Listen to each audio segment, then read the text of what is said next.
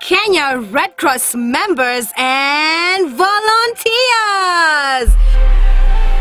to Tufanye mambo digital and make some clean chapa.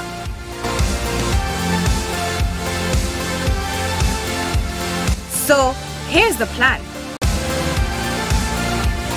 Download the Kenya Red Cross app and sign up as a volunteer or member through the application. Agree to our terms and conditions to become a recruiter. Click on Recruit Members to get started.